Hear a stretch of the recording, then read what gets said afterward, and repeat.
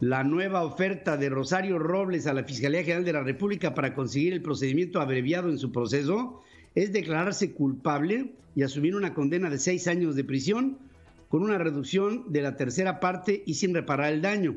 Si la Fiscalía accediera al arreglo, esta disminución de la pena corporal dejaría el castigo en cuatro años y la exfuncionaria estaría en posibilidad de solicitar su libertad al cumplir la mitad de la pena, lo que sucedería el próximo 13 de agosto. Esto no necesariamente significaría su salida del penal de Santa Marta, pues tiene pendiente otra orden de aprehensión por delincuencia organizada y lavado de dinero cuya vigencia o cancelación dependería del resultado de una negociación por separado con la CEIDO.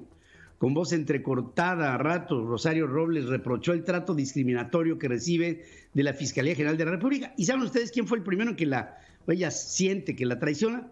Alejandro Gersmanero. Alejandro Gersmanero trabajó para ella. Se pensaba que Alejandro Gersmanero le daría una vía para que fuera testigo protegido y seguramente lo intentó, pero hubo alguien que le dijo desde arriba, no, Alejandro, no, a esta mujer con todo. Y la respuesta es esta. Nadie me visitó en el penal de Santa Marta Catitla. Nadie me ha hecho a mí, Rosario Robles, una propuesta. Me extraña enormemente las posturas que aquí se han señalado, no solo por los casos que son públicos, que todos conocemos, de gente que fue trasladada en helicóptero a un hospital sin pisar la cárcel, de quien está en esta misma causa conmigo y no ha pisado un minuto la cárcel porque se le dio ese criterio de oportunidad. Cuando dice el helicóptero, pues claro, es Emilio Lozoya, el que fuera director de Petróleos Mexicanos, y cuando dice, y el que está en la misma causa conmigo es otro Emilio, Emilio Cebadúa, que siendo el orquestador de la estafa maestra, resulta que pues a Rosario la tratan de una manera y a pues, ¿dónde está Cebadúa? Pues no está en la cárcel. ¿Y dónde está Lozoya? Pues tampoco. Y Rosario dice, ¿y por qué a ellos no y a mí sí? y todos coludos, ¿no?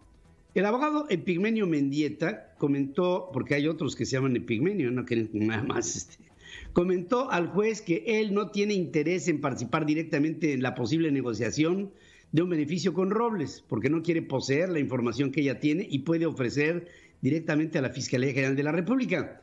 Insistió que ella debe de llevar directamente el trato con la autoridad, aunque hizo la sugerencia de que deben ser personas distintas a los fiscales que han estado a cargo del proceso, ya que la relación con ellos se desgastó.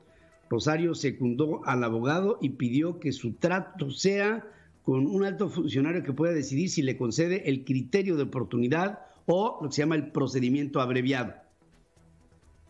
Yo voy a hablar con la verdad. A lo mejor el problema es que la verdad no es la que ellos creen que van a obtener.